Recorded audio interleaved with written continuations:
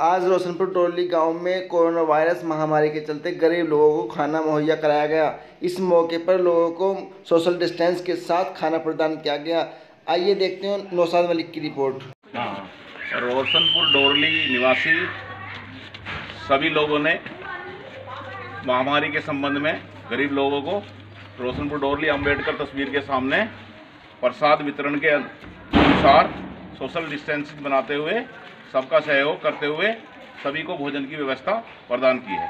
धन्यवाद।